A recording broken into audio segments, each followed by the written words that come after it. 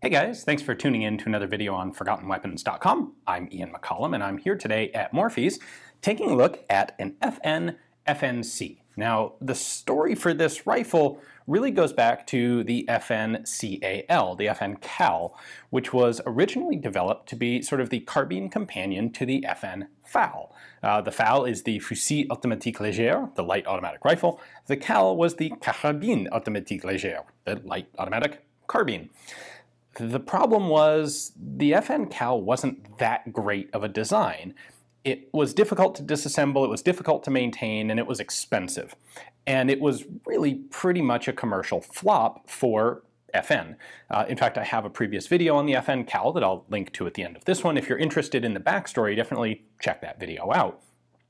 But uh, what ended up happening was the French uh, were interested in adopting a 5.56 rifle in about 1970. Uh, this was basically, they started developing the FAMAS right about this time, but in the meantime, they were interested in a rifle, and it's possible that they could have bypassed uh, uh, internal development entirely and just adopted the FN CAL, because the French went and got the CAL and tested it and rejected it. And it is in large part that rejection that prompted FN to look at improving the design and coming up with something better. And that would happen in 1975 with this, the FNC, uh, which by the way just stands for FN Carabine, the FN carbine. Uh, and the idea here was to fix all the problems of the CAL. They wanted to make a gun that was a lot easier to take apart, easier to maintain, cheaper to manufacture, and they really did a pretty effective job at that. So, uh, initial development, uh, well, the first prototypes were ready in 1975. The very first version of the gun was deemed the FNC 76 in 1976. Uh, it was tested by a number of different countries. Uh, in particular, the Swedish were testing it even as early as late 1975 and they found some issues. There were some uh, you know, really kind of the sort of things that plague, well, not plague, but that are uh, happen with every new firearms development. There were some parts that weren't quite strong enough, things broke a little too early. So FN went back in, spent a couple of years, uh, revised a few of the parts, made things a little bit more durable, and came out with the final pattern, which was termed the FNC 80 in 1980. And that is essentially this rifle right here. Now, a little bit of an explanatory note before we take a closer look. There were something like 6,000 FNCs manufactured as semi-automatic only sporting rifles that were imported into the US before 1989. This was one of them. Uh, a substantial number of those guns were actually converted to full auto. Uh, after 1986, it became illegal to import new machine guns into the US. I'm sorry, after 68, between 1968 and 1986, it was illegal to import new machine guns into the US, but you could still manufacture them in the US. And so there are a number of guns like the FNC that were imported as semi-autos and then registered and converted to full auto by gunsmiths and companies here in the United States. And the FNC is one of the more common of these patterns. So what we are looking at here is a full select fire. This is safe, semi, three round burst, full auto, fully transferable uh, FNC the full auto conversion was done here in the US, not originally by the FN factory. So with that in mind, let's go ahead and take a look at how the FNC works. The FNC was designed primarily to be uh, easy to manufacture and easy to maintain and disassemble. So let's see if it actually meets that. Now, the lower is aluminum, uh, relatively easy to machine for sure. The upper is uh, stamped sheet steel, relatively easy to manufacture if you've got the right tooling. Uh, let's go ahead and start with, pull the magazine out. This uses a magazine that is interchangeable with the standard M16 magazine, but the original FNC mag is not identical because the FNC does not have a bolt hold open mechanism. It will accommodate an M16 magazine, but the bolt won't lock open. And if you find an original FNC magazine, it won't have a hold open uh, tab on it, and so it won't actuate the hold open on an M16 pattern rifle. But it certainly made a lot of good sense for FN to make a rifle that could interchange magazines with the gun that was far and away the most common 5.56 rifle at the time, the M16. We have a little bit to unpack on the markings here. So serial number, this was originally manufactured by FN in Herstal in Belgium. Uh, it was then imported into the US as a semi-auto by Steyr. That may seem a little surprising, but Steyr did a bunch of US uh, interesting rifle importation around this period in the 1980s. They also brought in some of the very first uh, AKs. The Maadi AKs out of Egypt were imported by Steyr. Um, it's worth pointing out that uh, Howco and Gun South also imported FNCs into the US uh, between 1982 and 1988 with production or importation ending by legal requirement in 1989. Now, we have another marking here, and that is, I just mentioned Gun South. Gun South is the company that converted this into a full auto machine gun. Legally, they registered it as a machine gun, but when they do that, they're required to put their name on the gun as well. So that's why we have FN as the original manufacturer, Steyr as the original importer, and Gun South as the well, in legal terms, they are the manufacturer of this gun as a machine gun. And the original model here is Cal 223 Remington Sporter. This was a semi-auto only when it came into the country. Taking a look at the controls, we have a four position selector lever, everything from full auto, three round burst, semi-auto, one round burst, and safe. Have a nice plain magazine release here. Uh, very similar to the M16 in position, just doesn't have any fencing around it and never did. And then we have a charging handle up here that is reciprocating and it has this neat spring-loaded dust cover that uh, the young folks out there may think was created by the uh, the Galil Ace. It was not. This was uh, originally found on the FNC back in the 80s. So the idea here is that this can tip up and sort of follow the path of the bolt handle as it cycles and keep the uh, side of the gun as closed as possible at all times. The gas regulator is in a rather unusual position here. It is this lever on the very top at the back of the barrel at the front of the receiver. There is a single bar here, that's uh, one, that is the normal firing position, and two bars here for adverse service. And it's just this detented flip position like that. And what that actually does is either expose or enclose this little hole. That is a gas vent hole. So in normal operating mode, which is what we have now, some of the gas hits the piston and some of it vents out that little hole. For adverse mode, we're going to rotate this cover closed. Now there's no gas venting out that hole and all the gas goes onto the piston. A pretty simple way to do it.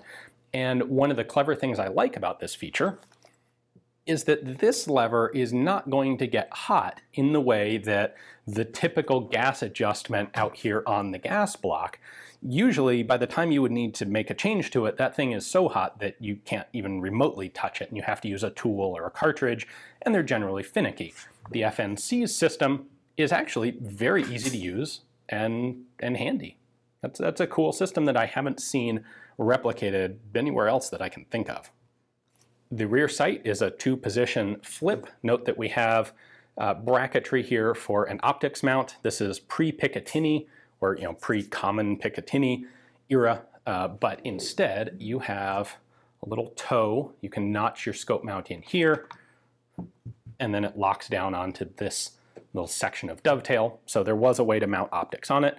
Uh, your two apertures are set for 250 and 400 meters.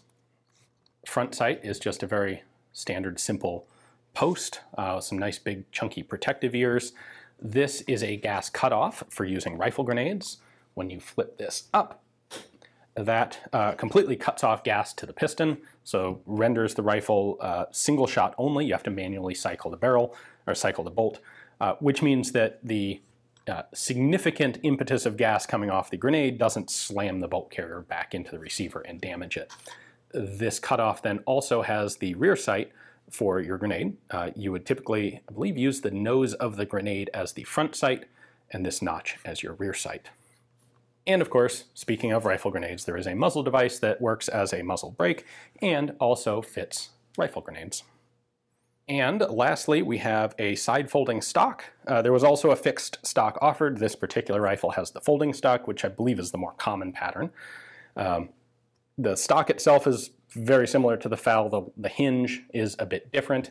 Uh, you push the button here and pull the stock down, and then you can fold it over like so. It does not obstruct the charging handle. The rifle does work with uh, the stock folded. Now it's held in place by tension and leverage, but not by a fixed lock. So to open the stock, you just pop it open and into position. One of the intentions of the FNC was simple takedown, and they did that very effectively. So we're going to start with two pins.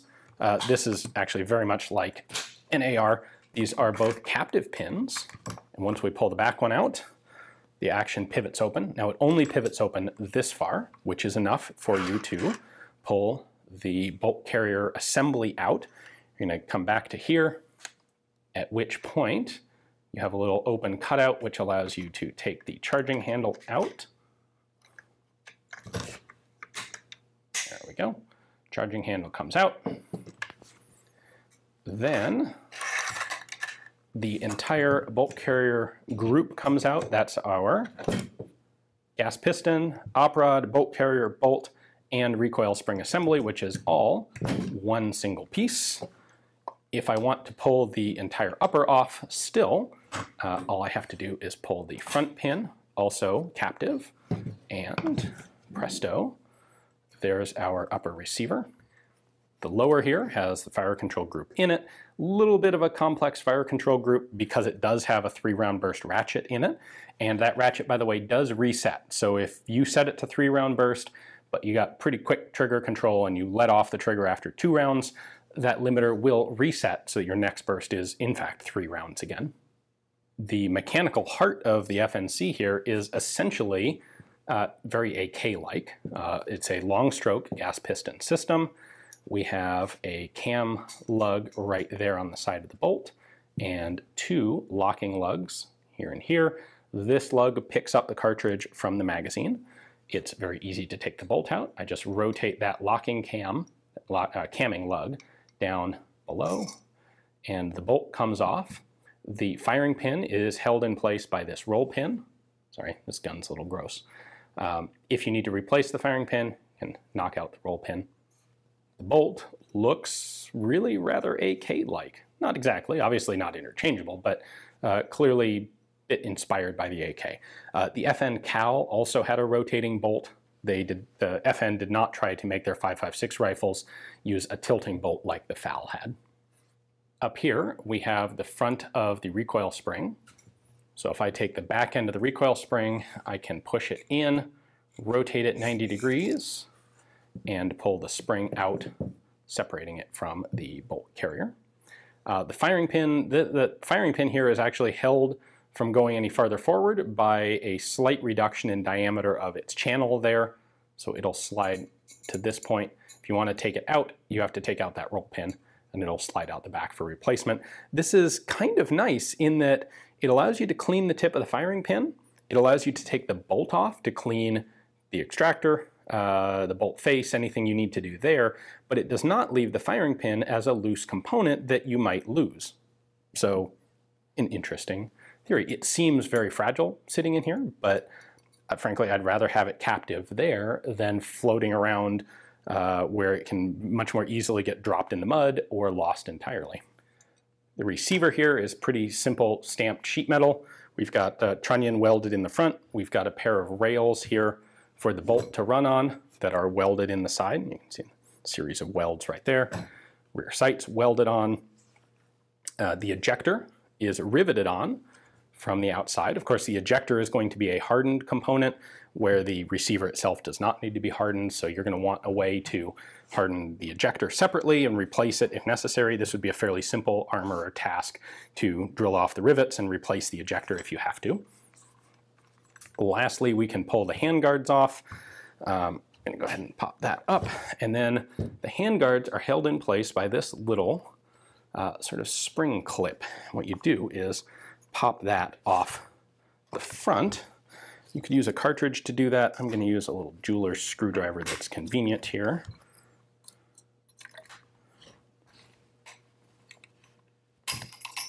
There we go. With that clip out on the barrel, I can then just lift off both of the handguards. So there is a, a metal shell on the inside there to give you a little bit of insulation. And then there is our gas tube with its spring and detent to act as the gas regulator as well. Ports here much like an AK so that once the gas piston starts moving, uh, excess gas gets vented there. And uh, that's pretty much it. That's your gas block. And uh, sling swivel on the front. The FNC was really ready for prime time, for marketing and sales about 1980, and this is a very convenient time for FN to be bringing this rifle onto the market. Uh, NATO had just spent a couple years in the late 1970s attempting, once again, to adopt a standard cartridge and rifle for the NATO alliance. And once again, they kind of failed. So the first time they managed to adopt 7.62 NATO as a cartridge, and another FN product as almost a standard rifle, the FN FAL. Well, in the 70s, they once again managed to standardize on a cartridge. It is not, by the way, the American uh, 223 cartridge.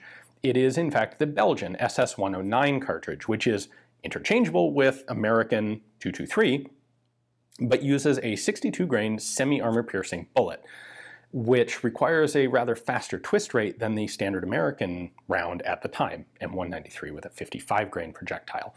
Not to get too deep into the weeds, but there's, I think, a view by some that the, the 1970s NATO trials were once again the US forcing its equipment on the rest of the alliance. In this case, it's not true. Uh, adopting SS-109 required the US to modify a whole lot of guns with new barrel twist uh, new barrels for new twist rates. Um, this wasn't the American cartridge. It was, in fact, the Belgian cartridge, um, largely developed for this rifle. Anyway, uh, 1980, 5.56 NATO has been adopted. There are now a lot of NATO and NATO adjacent countries who need a 5.56 rifle. I should point out the French by this point have just decided to do their own thing which is what one would have expected from them in the first place, and they will end up with the FAMAS before the FNC is actually ready and available. But uh, the Swedes have been testing the FNC since the mid-1970s. Mid-1980s, they finally adopt it. They decide to get rid of the three-round burst mechanism, but otherwise keep the rifle more or less the same. Uh, in subsequent years, they have made a number of variations on it, uh, including painting them all green, or a lot of them green. Uh, so uh, the Swedes adopt the FNC. They buy a bunch of them initially from FN, and then they also purchase a license to make them domestically in Sweden, which is where the majority of FN of AK5 production will happen. Uh, 1980 is actually the first contract for these guns, and that goes to Indonesia, who also, like the Swedes would do in a few years, the Indonesians bought a batch of guns from FN and then also purchased a license to manufacture them domestically. So we end up with actually three factories that have produced FNCs worldwide, FN in Belgium, and then uh, government factories in Sweden and Indonesia.